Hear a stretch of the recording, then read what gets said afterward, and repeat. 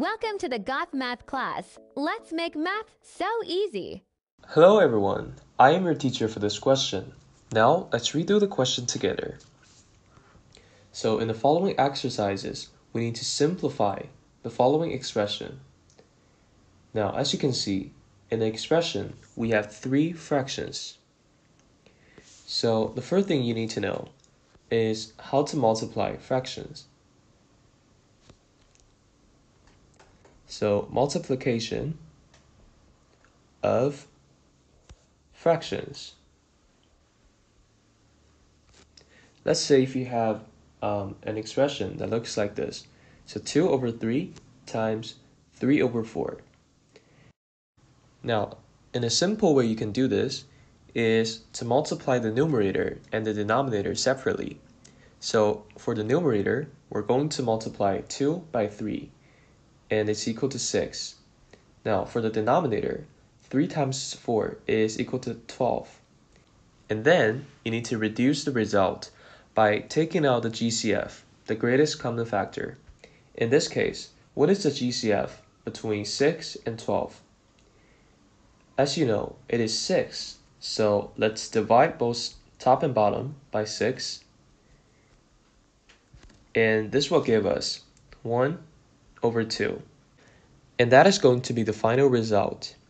But notice that sometimes it can be much more difficult when it comes to multiplying fractions with complex numbers. So a smarter way to do it is to simplify the fractions before you multiply them.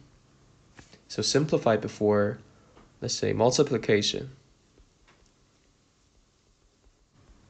Alright, now that you have enough information about how to solve this question, if you like, please pause the video and take a minute, try this question by yourself, and come back if you have an answer.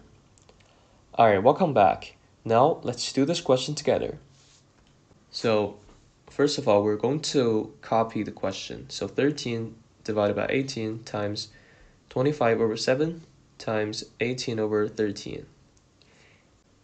In this question, as you can see, it can be very time consuming if we multiply all of these three fractions together. So what we want to do is to identify if there's any terms we can simplify. 13 will cancel with the 13 in the denominator and 18 will cancel with the 18 in the numerator.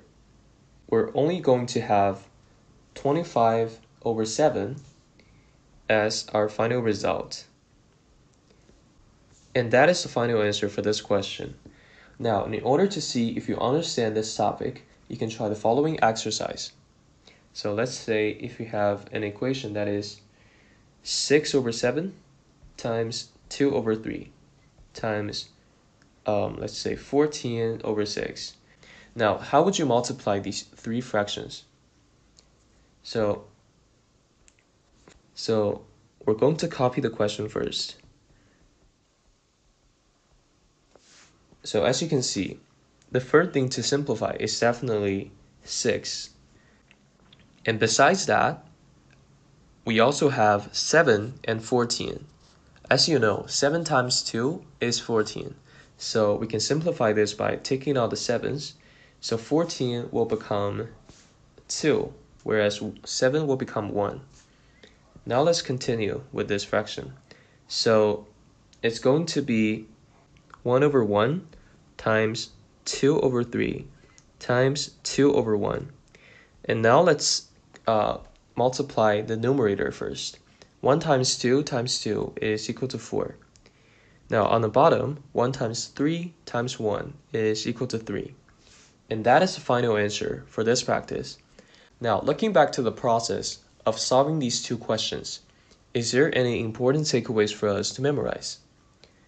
So when you're trying to multiply fractions, a simple way to do it is to multiply the numerator and the denominator separately. And after that, you need to reduce the result by taking out the GCF, which is the greatest common factor. But notice that sometimes it can be much more difficult when it comes to multiplying fractions that contains large numbers. So what you want to do is to simplify those fractions before you actually multiply them. For example, in this question, we simply canceled 13 over 18 with 18 over 13.